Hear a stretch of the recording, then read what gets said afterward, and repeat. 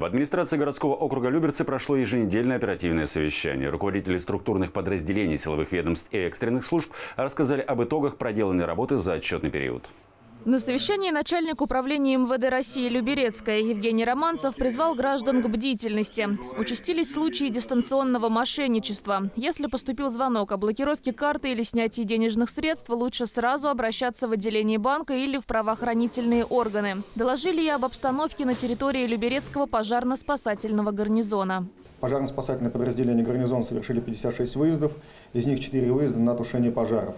Из них в городском округе Дзержинский один по повышенному номеру, складское помещение, и три в городском округе Люберцы. Также принимали личный состав участия э, в обеспечении безопасности на выборах по нашей линии без происшествий. Прошедшие выходные для силовых ведомств и экстренных служб выдались тяжелыми. Личные составы обеспечивали безопасность граждан на дне города, в котором приняли участие более 70 тысяч человек, а также в единый день голосования. Явка избирателей составила более 22%.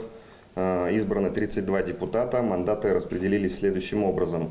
26 э, достались партии «Единая Россия», по одному КПРФ, ЛДПР и «Справедливой России» и три мандата самовыдвиженцам. Также о проделанной работе доложил руководитель управления ЖКХ округа. В этом году запланирован ремонт в 135 МКД. 79 из них уже готовы. Продолжается реализация программы губернатора по увеличению безопасности использования жителями газового оборудования. Администрации в муниципальном жилфонде производится установка, бесплатная установка датчиков загазованности. На данный момент у нас установлено уже 2508 датчиков. Каждый житель может обратиться в свою обслуживающую компанию «Юникон» за разъяснением, установкой. В проделанной работе за прошедшую неделю отчитались сотрудники дорожного хозяйства, здравоохранения и представители спорта. Мария Антонова, Петр Пономаренко, телеканал ЛРТ.